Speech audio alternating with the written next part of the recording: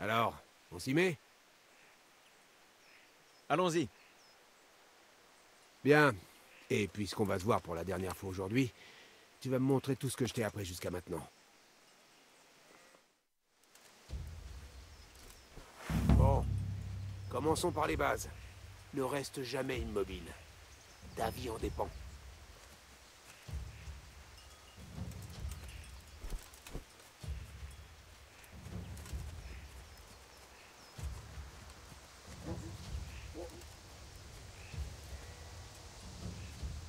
Bon, très bien. Maintenant, essaie d'attaquer. Mets toutes tes forces dans ton attaque. Inutile de remuer l'épée dans tous les sens. T'arriveras à rien. Essaie de frapper de toutes parts. Montre-toi imprévisible. Ne répète jamais le même geste.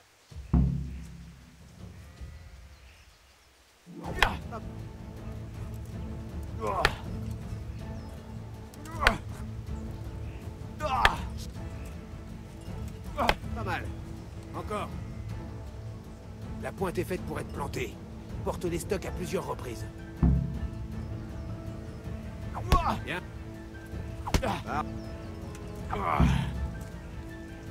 Très bien. Bien, bien.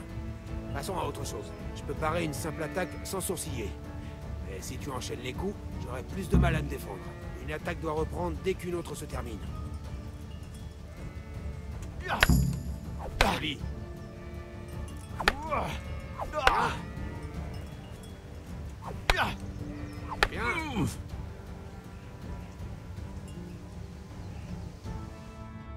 Ça suffit. Je suis épuisé et j'ai soif. N'oublie surtout pas l'essentiel. S'entraîner dur. Personne ne devient maître d'armes d'un jour à l'autre. Il faut travailler sans relâche, encore et encore. Le plus important, c'est d'utiliser ses acquis lors des vrais duels. L'expérience est le meilleur des maîtres, crois-moi.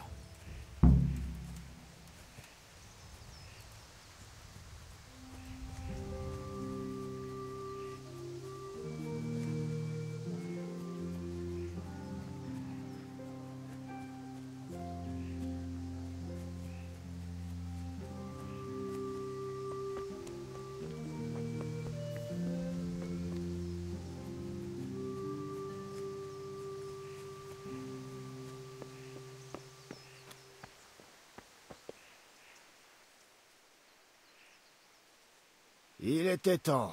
Tu as apporté tout ce que je t'ai demandé J'ai du charbon, la garde et la bière. On peut commencer. Bravo. Alors au travail, mon fils. Bien joué. Bon. Voyons voir quel genre d'ouvrage nous a réalisé le maître de Sasso. Regarde-moi ça, mon fils. C'est ce que j'appelle du travail d'artiste. Que veut dire l'inscription? Je ne sais pas trop. Ça ne ressemble pas à du tchèque. C'est peut-être du latin. Le seigneur Radzig l'a commandé. Ah, ce sera la plus belle épée que j'aurai forgée de ma vie. Tu as apporté le charbon? Bien. Allume la forge. On va assembler le tout.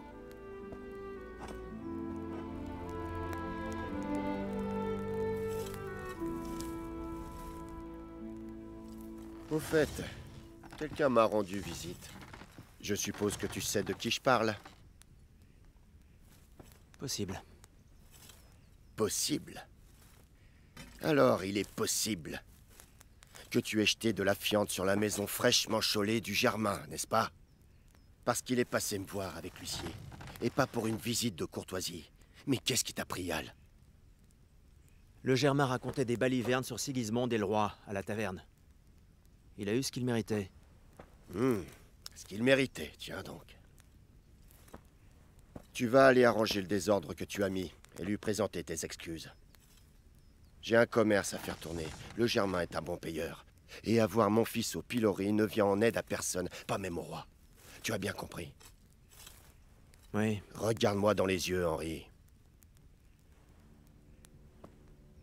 Est-ce que tu as bien compris? J'ai bien compris. Très bien. Et je ne veux plus en entendre parler. Donc tu penses que c'est juste de laisser des traîtres dire du mal de notre roi? Il se fait prendre. Il passe pour un nigo et il n'en tire même pas la leçon.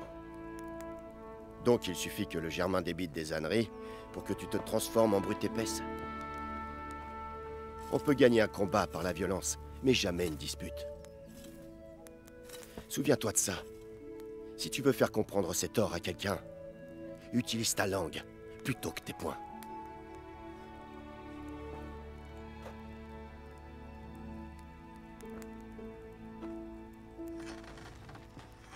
Le fourneau est prêt. On va s'occuper de la poignée.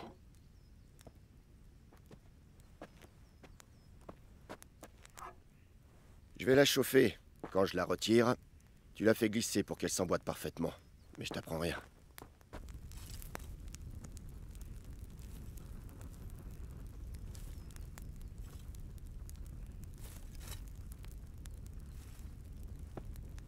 C'est bon. Vas-y.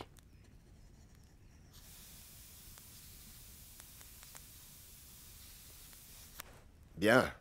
Encore une fois.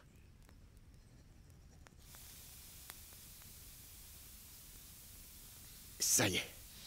C'est fait. À présent, lime-la pour qu'elle tienne bien en main. Moi, je prépare la garde.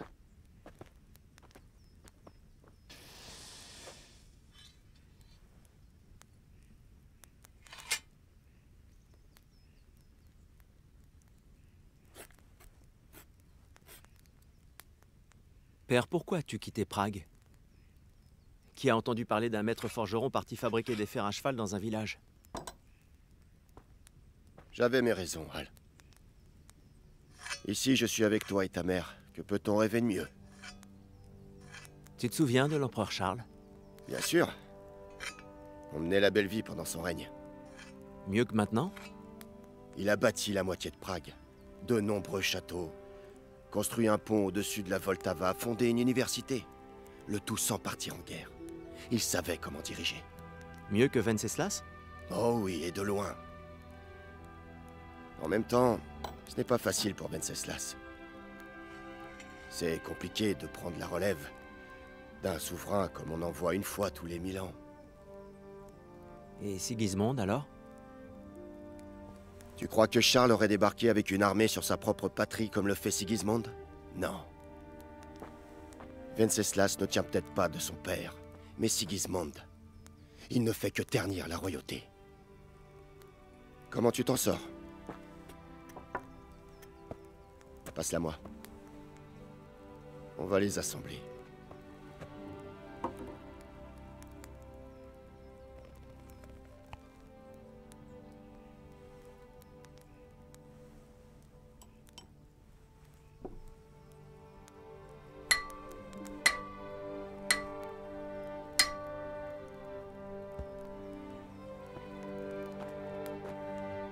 C'est splendide. Splendide, en effet. Que Dieu te bénisse. Mon père m'envoie chercher des clous. Bien le bonjour, Thérèse. Ils sont prêts. Tu vas aller me les chercher, Al? Ils se trouvent dans le coffre du salon. Henri, tout va bien?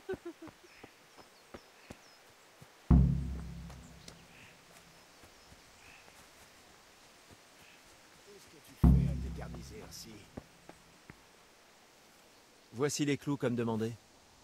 Merci. Comment va Bianca? Euh, elle va bien Pourquoi cette question? Non, comme ça. Vous allez assister au bal ce soir? Eh oui. On se croisera peut-être là-bas Bref, je ne vais pas te retenir plus longtemps. Au passage, cette épée est vraiment magnifique.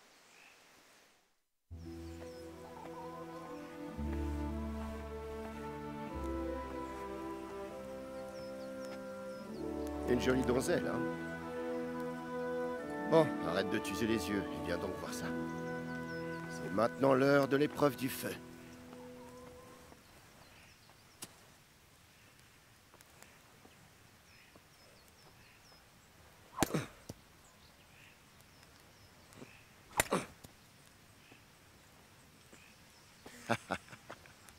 On a fait du très bon travail.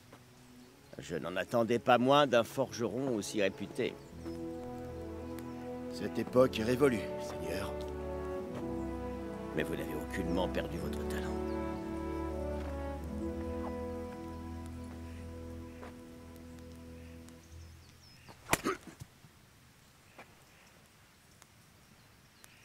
Tu aimerais l'essayer? Seigneur, à quoi servirait une épée hein? Qu'il l'essaie donc.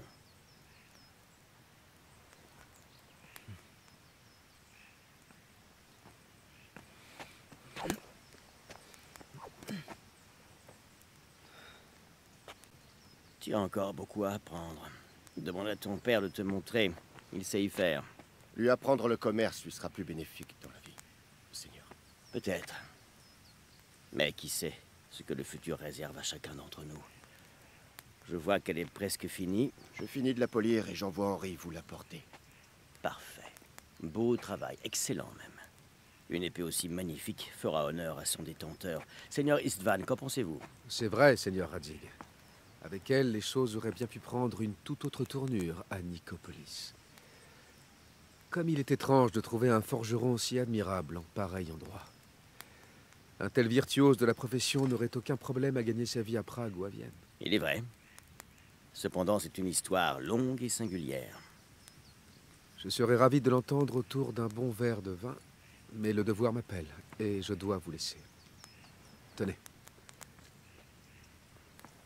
Apprends de ton père. C'est un véritable maître de son art. Nos chemins finiront par se recroiser. Ça ne fait aucun doute. Une fois l'épée prête, envoyez-moi votre fils. Joli travail, Martin. Seigneur,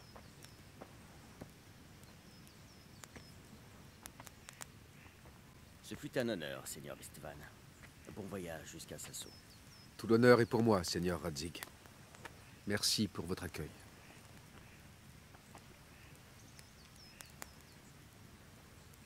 Une histoire longue et singulière? Celle d'un temps révolu. Je te la raconterai peut-être, mais pas aujourd'hui. Tu vas m'apprendre à m'en servir, comme l'a dit le Seigneur Pourquoi? Ça pourrait m'être utile. Si je pars voir du pays avant de m'installer.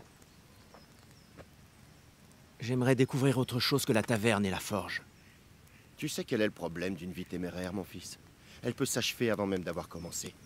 À quoi bon t'apprendre à manier l'épée? Si c'est pour que tu meurs frappé par un carreau d'arbalète sur le pas de la porte.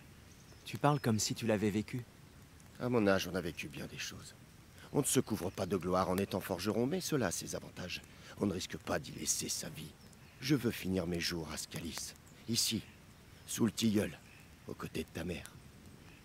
Moi aussi, un jour. Mais j'aimerais d'abord voir du pays, rencontrer des gens. Les rencontrer ou les frapper Les rencontrer. T'as besoin de remettre ça sur la table? Alors apprendre le maniement de l'épée te servira à rien.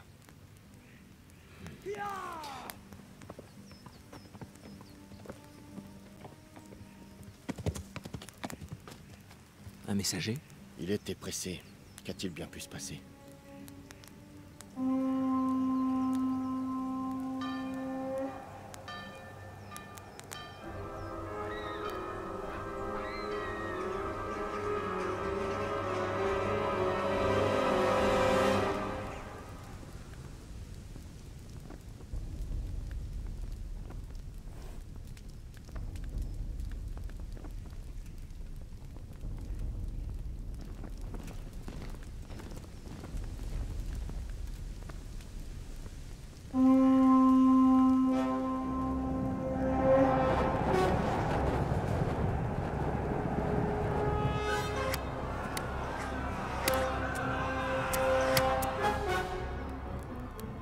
Écoute-moi bien, Hal, écoute attentivement. Prends l'épée, rentre à la maison et récupère l'essentiel dans le coffre. Ensuite, va vers le château, dépêche-toi. Et toi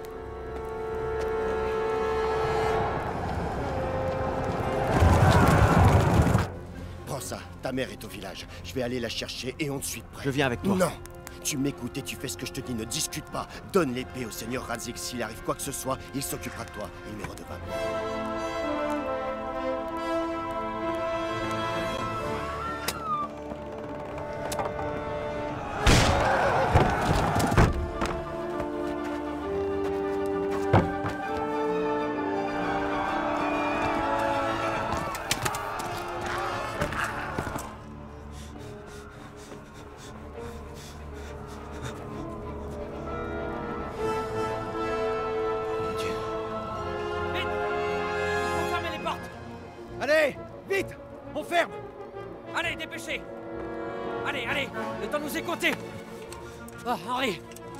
Entre vite, allez Il faut qu'on ferme les portes. Tiens-moi ça. Tu es fou. Tu ne peux pas faire demi-tour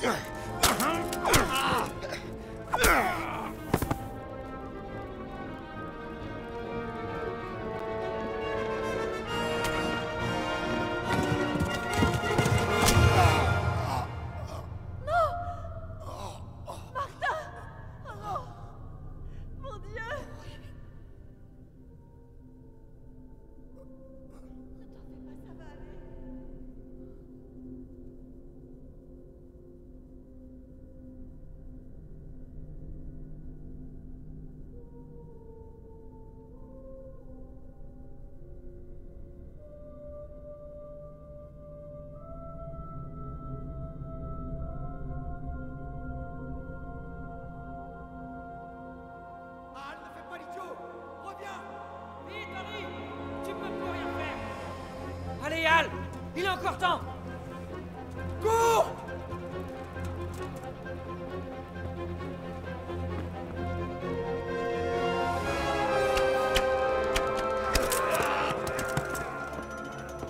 Prends un cheval et pars à Talberg Dis-leur ce qui se passe. Va les avertir. Longe les dos.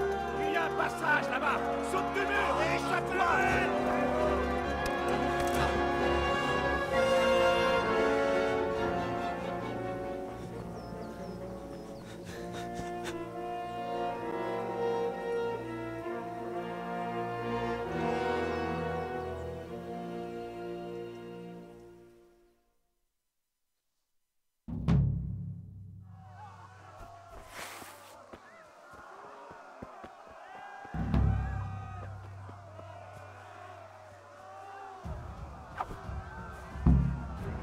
Ne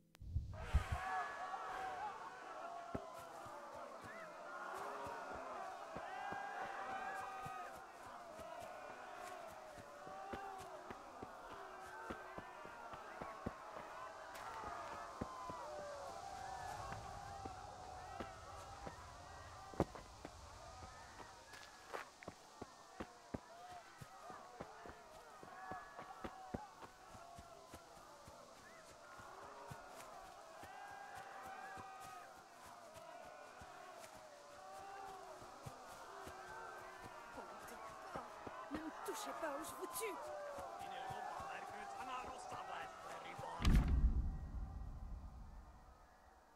Va en enfer, monstre tartare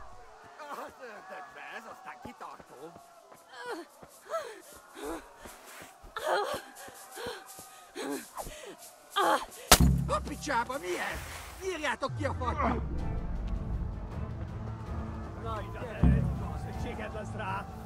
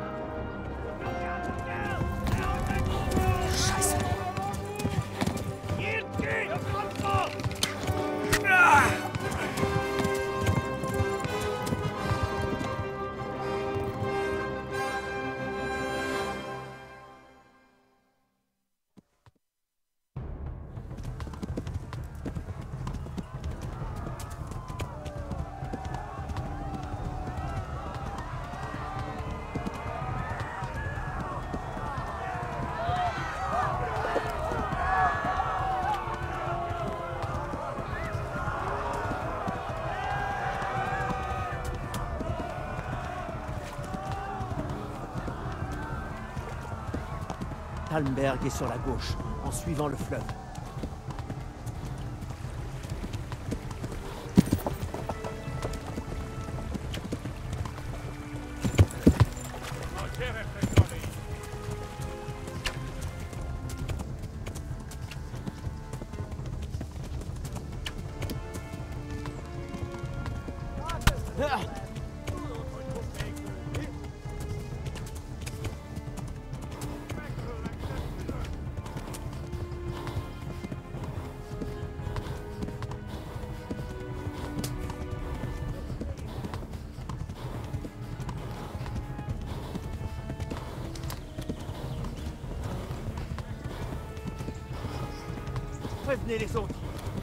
Incendié Scalis.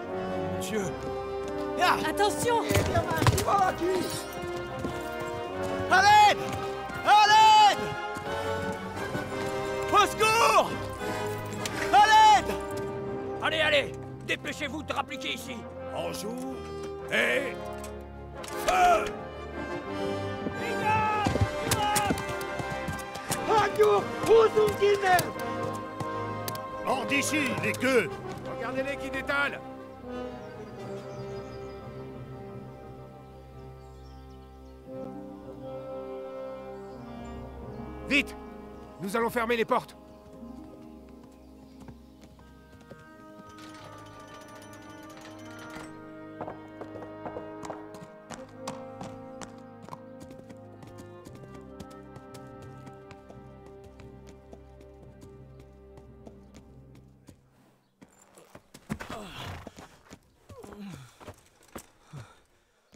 Que quelqu'un apporte à boire.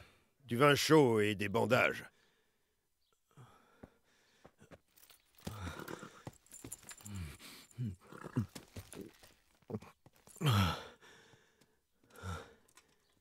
Dis-moi, petit, qui es-tu Et d'où viens-tu? Raconte-moi ce qui s'est passé. Je viens de Scalis.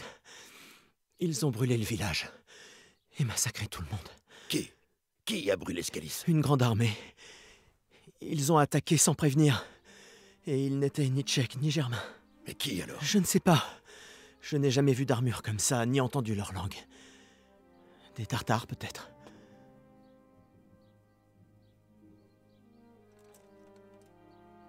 Des Tartares. Bon, on s'en occupera plus tard. Jetons d'abord un œil à ta jambe. Qui est cette personne? Je ne sais pas. Serre les dents, petit. Je vais te retirer cette flèche.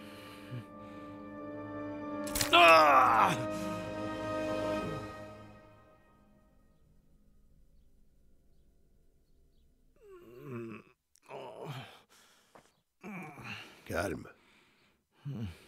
Doucement. Tu as eu de la chance. La flèche a raté l'os. Je n'ai eu qu'à poncer la plaie, ce que je ne sais que trop faire. La guerre vous forge un homme. Tu peux te lever?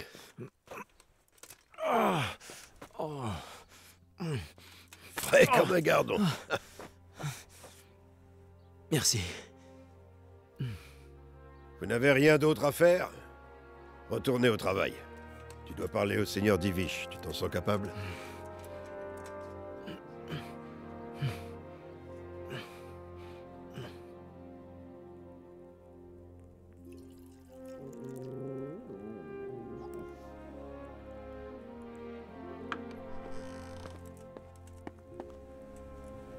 Seigneur, voici un survivant. Je sais, Robard.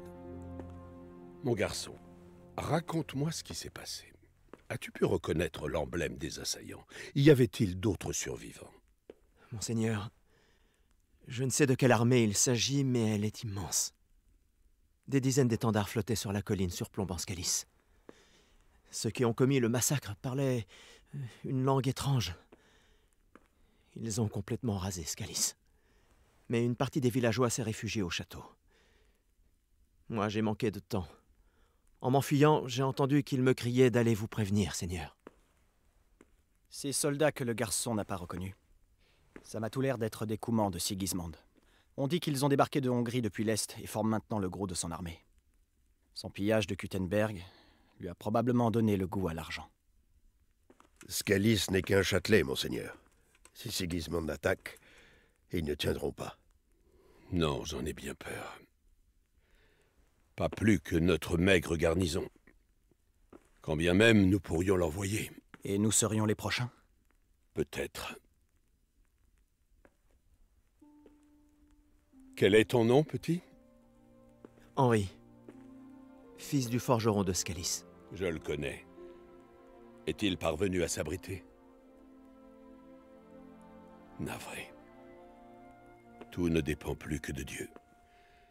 Personne d'autre ne peut nous aider. En tout cas, merci. Tu as risqué ta vie pour nous. Robard, prenez soin d'Henri. Assurez-vous qu'il ait le gîte et le couvert. Fort bien. Et que les habitants rentrent dans l'enceinte. Il faut se préparer au pire. Prenez les dispositions nécessaires. À vos ordres, monseigneur.